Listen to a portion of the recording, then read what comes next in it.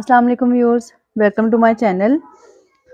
मैंने आपको स्टार्ट करवाई हुई एक्सरसाइज 1.3 और क्वेश्चन नंबर थ्री और ये जो कि इम्पोर्टेंट एक्सरसाइज है, और इसमें हम यूज़ कर रहे हैं थ्योरम को, जो कि थीटा इन रेडियन है।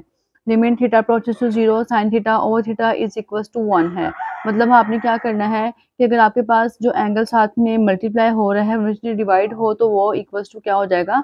वन हो जाएगा। अब आपके पास क्वेश्चन है, limit theta approaches to zero one minus cos theta and sine theta. तो हम क्या कर सकते हैं? इन क्वेश्चंस को हम कॉन्जुगेट से मल्टीप्लाई करके भी सॉल्व कर सकते हैं। तो यहाँ पे आएगा limit theta approaches to zero one minus cos theta and sine theta. अगर हम इसे कॉन्जुगेट से मल्टीप्लाई करवा दें तो यहाँ पे आएगा one plus cos theta divided by one plus cos theta हमारे पास वन प्लस कॉस थीटा हो जाएगा। अब हम नेक्स्ट क्या करेंगे? इधर limit theta approaches to zero अब इसे इससे मल्टीप्लाई करवा दें। ये मेरे पास हो गया ए माइनस बी और ये हो गया ए प्लस बी तो ये क्या हो जाएगा? वन का स्क्वेयर वन हो जाएगा। Minus plus minus cos theta cos theta से मल्टीप्लाई करवा दें तो कॉस स्क्वेयर थीटा आ जाएगा। मतलब ये हमारे पास बन गया A square minus B square अब यहाँ पे आ जाएगा साइन थीटा और इधर आएगा वन प्लस कॉस थीटा अब आप क्या करेंगे? इसे one limit theta approaches to zero one minus cos के थीटा किसके बराबर हो जाएगा? हमारे पास आएगा साइंस के थीटा के इक्वल क्योंकि यहाँ पे एक रिज़ल्ट है कि साइंस के थीटा प्लस कॉस के theta is equal to one होता है। और अगर हम इसको उठा के उस साइड पे ले वो माइनस हो जाएगा तो ये इसके इक्वल आ जाएगा कॉस के थीटा के। तो यहाँ पे वन माइनस कॉस के थीटा इक्वल टू हो जाएगा साइंस के थीटा और नीचे हमारे पास है sine theta into one plus cos theta अब हम क्या करेंगे, यहाँ पे स्क्वेयर है, यहाँ पे सिंगल साइन है तो एक स्क्वेयर जो है वो साइन से कैंसिल हो जाएगा। तो आपके पास इधर आएगा limit theta approaches to zero इधर आ गया साइन थीटा और नीचे हमारे पास आ गया वन प्लस कॉस थीटा अब हम क्या करेंगे? लिमिट अप्लाई कर देंगे। लिमिट अप्लाई करने से हमारे पास आएगा यहाँ पे साइन जो थीटा है वो क्या हो गया? ज़ीरो नीचे क्या होगा? वन प्लस कॉस ये भी हो जाएगा ज़ीरो अब साइन ज़ीरो क्या होता है?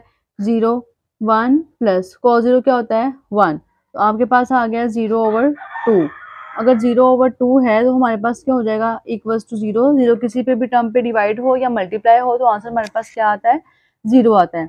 तो हमारे पास आंसर इसका ज़ीरो आ गया सेकेंड पार्ट का सॉरी थर्ड पार्ट अगर आपको समझ नहीं आई तो आप मुझसे पूछ सकते हैं। अब हम स्टार्ट करेंगे इसका फोर पार्ट अब इसका फोर पार्ट है limit x approaches to pi है और साइन एक्स और पाई माइनस एक्स इसके इक्वल है। हमने यहाँ पे क्या करना है? अब देखिएगा, हमें चाहिए इस थ्योरम के मुताबिक अगर यहाँ पे एंगल है तो साथ वो मल्टीप्लाई होना चाहिए। तो हम यहाँ पे क्या कर लेते हैं? हमें लेट कर लेते हैं। इधर लेट कर लें, ये जो पाई माइनस एक्स है, ये किसी और पैरामीटर के इक्वल जो पाई माइनस एक्स है, वो टी के इक्वल है। हम यहाँ पे से ये लेट कर लेते हैं।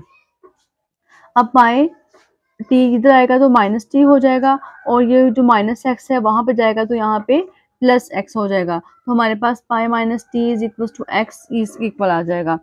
हम यहाँ पे लिख लेते हैं लिमिट एक्स अप्रोचेस टू पाए ठीक है? और अब यहाँ पे साइन एक्स किसके इक्वल है एक्स एक्स बराबर है पाई माइनस टी तो जहाँ पे एक्स है, वहाँ पे हम क्या लिख देंगे? Pi minus t and divided by और जिधर पाई माइनस एक्स है, वो हमारे पास इक्वल टू है टी के तो हम यहाँ पे क्या लिख ले रहे हैं? टी अब यहाँ पे जो देखिएगा साइन पाई माइनस टी अब इसे सॉल्व करेंगे फॉर्मूला ओपन करके तो ये हमारे पास इक्वल टू आ जाएगा साइन टी के। तो हम यहाँ पे ये लिख लेते हैं, ये आ गया sine t and divided by t already वहाँ पे मौजूद है। तो इधर क्या हो जाएगा? देखिएगा, जो एंगल है साथ मल्टीप्लाई हो रहा है वही नीचे डिवाइड हो रहा है। ये पूरी लिमिट हमारे पास इक्वल टू क्या आ जाएगी? वन के तो ये हमारे पास इक्वल टू वन कंप्लीट हो जाएगा। ये क्वेश्चन हमारे पास कंप्लीट हो जाएगा। इसके बाद है हमारे पास, इसका क्वेश्चन नंबर